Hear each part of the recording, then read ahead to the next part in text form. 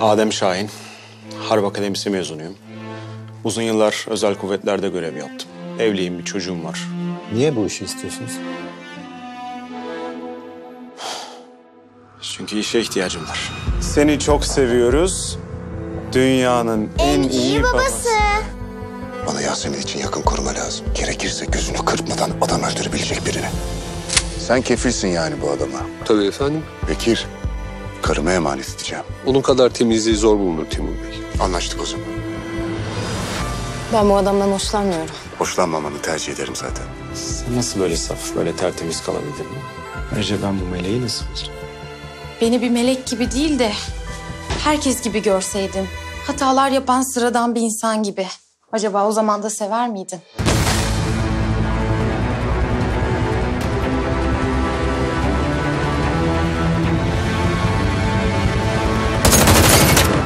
Yeni Hayat Perşembe akşamı Kanal D'de başlıyor.